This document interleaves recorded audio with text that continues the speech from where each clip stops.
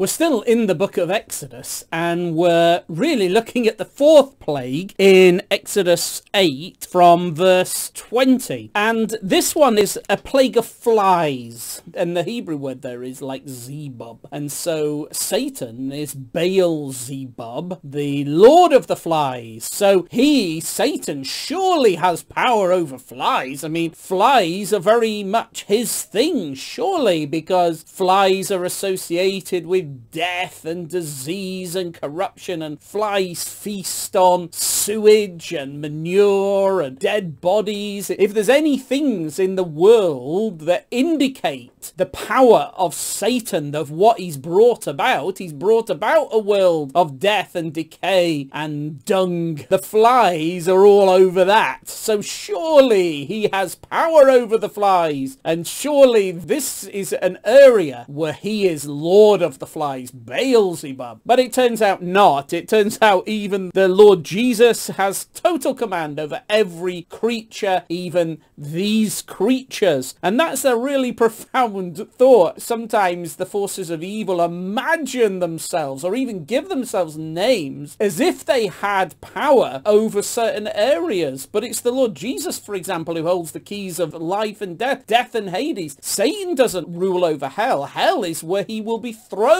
He doesn't rule over any of these things. The Lord Jesus has the power over everything, life and death. And even these flies obey him. And it's interesting that there's this sense that these Egyptian gods are all based really on the worship of death and these pyramids, these enormous tombs. It's as almost as if they put more effort into reverencing death than they do to reverencing life. The most sacred things are focused on death in the Egyptian way. And so in verse 26, Moses acknowledges that the way that the church worships the living God with the sacrifices and offerings they would make to the Lord, this way of offering these animal sacrifices in worship to the Lord of life and the way the ancient church is focused on this cleansing and forgiveness and life, those sacrifices were an abomination to the Egyptians. They looked at church and found that the worship of the ancient church deeply offensive, so offensive to them that they would wish to kill the ancient church because they worshipped the Lord in the way that they did. And that's again reminding us how utterly corrupt that nation had become. Remember, 400 years previously, Joseph was the leader of the nation effectively, and they all knew the Lord and knew how wonderful the ways of the Lord were. Now they regarded the worship of the Lord as an abomination worthy of death. And we might find in our societies, increasingly in the Western world, that the society around us looks at the way we worship and what we do and how we believe and organize our lives and so on. They may say that's an abomination to us, deeply offensive, such that they may wish to stone us. But we're not intimidated by that because we worship the Lord of life and goodness. We carry on worshipping him. I like the fact though that Moses does try to make sure that he doesn't like deliberately offend the Egyptians. He doesn't say, well, we'll just worship anyway right in front of you. He's sort of acknowledging it's probably a wiser thing to do to be aware of this offense that the church created to that ancient civilization. So I kind of think there's a wisdom to it as well. But isn't it interesting that Beelzebub, the Lord of Flies, claims to be deeply offended by the